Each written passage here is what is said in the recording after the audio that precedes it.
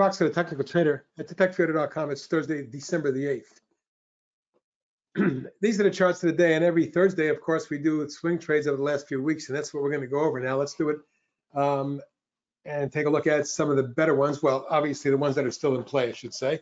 Uh, AEHR has been in play, and it has been for the next few, last few months, moving nicely from the, uh, I think it's about the mid-teens where we put it out and trading now in mid-20s. My target now says 32.3 maybe your target, looking real good. Up next is AOUT, which popped out and pulled back, had a nice reversal today. Beautiful base breakout, pullback retest, and reversal. Should it get up above 1160, I'd be looking for about 13. Apps popped out, pulled back and retested. It's forming some sort of platform. Really needed to hold 15, 15 and a quarter, but my targets now are 1920 and 24.5. AVDL continues to channel up after we put it out, looking good. Um, and I think at this point, we're going to look for 11, 14, and 17 over the next few weeks and months. AXSM and a beautiful ascending bull wedge. I'm planning on a breakout shortly and a run into the 90 area for starters. BAND popped out of a wedge. We put a swing on it today. It looks pretty good to me. I think 28 and 33, 34 targets. BEAT popped and we put that out as a swing. All we need to do now is take out six and three quarters of your next target and we might see eight or better. CECO, still in a beautiful uptrend, popped out and pulled back. We put out a swing on it, but it looks to me like it's consolidated one more time for a run to the mid channel, 14 and a half area. EDU popped out today. We put a swing on it. I think it's coming out of a multi-month consolidation, maybe headed for 39.40. EHTH popped. We put a swing on it. It ran up and then backed off. It's forming a wedge. The volume is low. The technicals look good. I'm looking for a pop across five and a half and get up to seven.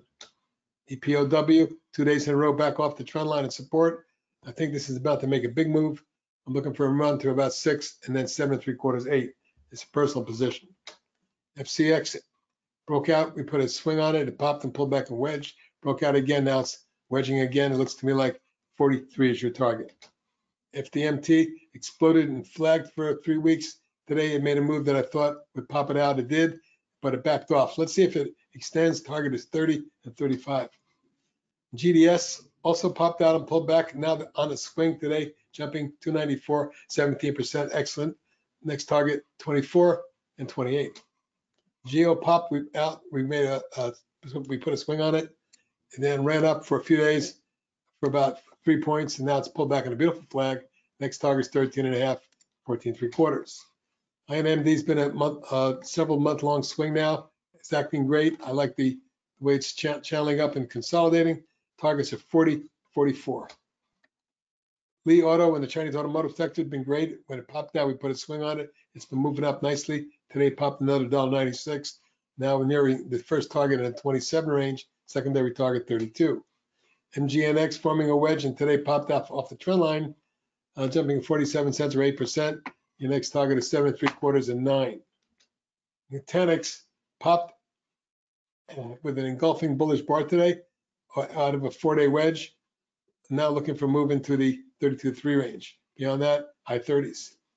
OM popped and broke out. We put a swing on it. It backed off to retest and now it's stair stepping higher uh, above resistance. Next target 26.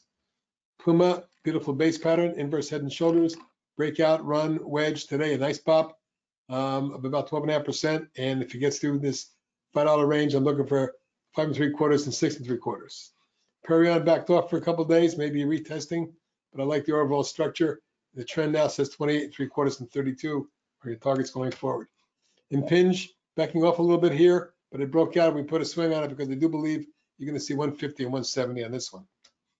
Purple, after breaking the base and pulling back and testing, it popped again and retested. But overall, it's got a bullish wedge forming. break out of this level, six and eight are targets. RVPH continues to press, impress, popped out, falling wedge, ran again, flag, new target, nine and a half. SCO, I believe oil may be coming down. The SCO is building a big base, which I think might be for a big move. I'm looking for 32 and 37 for starters. SKYT popped and broke out. We put a swing on it, but it backed off and formed a wedge. So far holding support. I need a breakout over 10 to get it going again. If so, targets 13 and 15. TBLA exploded, now forming a wedge. I like the look of it overall. That was a big breakaway gap. Your target is three, three and three quarters, and five. TME break out of a big base pattern and just keeps running. Beautiful chart. Your target now, nine and a half. VRNA, pop broke out and pulled back and retested. As long as it holds support at 11 and a half, I'm good. Targets of 14 and a half, 16 and 17 and a half. VRT, if they're breaking out of a base, is pulled back and it's consolidating. Um, after holding support and bouncing, it's bouncing one more time. Today, I'm whipping back and I'm looking for 16 and 19 as targets. And finally, XPEV broke out of a long downtrend along with the other Chinese electric vehicle manufacturers ran up to the first target resistance area near 13. The pullback and a subsequent pop today of 85 cents or 8% tells me we're in a wedge pattern that's going to break out and tag 14 and three quarters 15 your next target. Let's look at the swing trades of the last few weeks. Good night, everybody.